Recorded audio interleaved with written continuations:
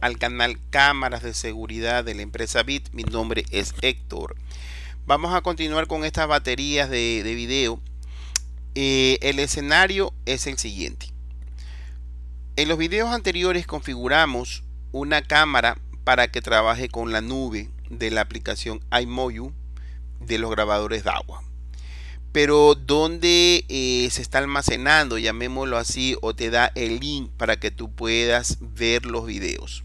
Eso es lo que es un mensaje. Quiere decir que eh, se sube a la nube la cámara que capturó el evento y él, en este caso el servidor, te manda un mensaje a ti indicando que él tiene ese video almacenado.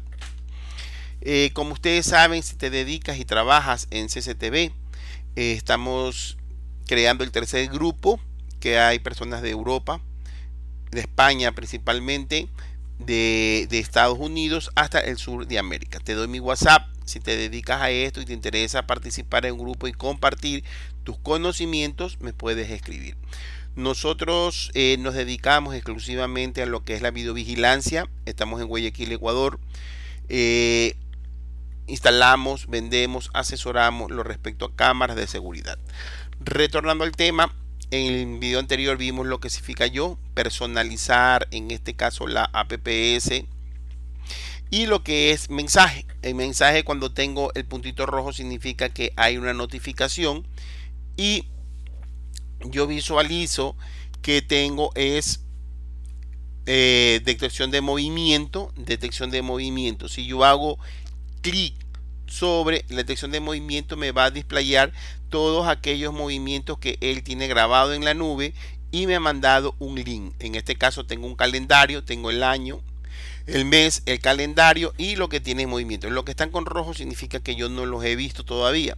Estoy haciéndole clic, yo le presiono y me va a darme es el movimiento que encontró y que lo tiene almacenado. De igual manera puedo tener el día viernes, etcétera. Recordemos que en el video, creo que número 2 o 3 de esta batería está cómo configurarlo con respecto a la nube. Eh, visita mis sitios web, ya los voy a hacer algunos cambios para que tengas nueva información actualizada en los dos sitios web. Espero que te haya gustado. Algo sencillo y muy útil. Saludos desde Guayaquil, Ecuador.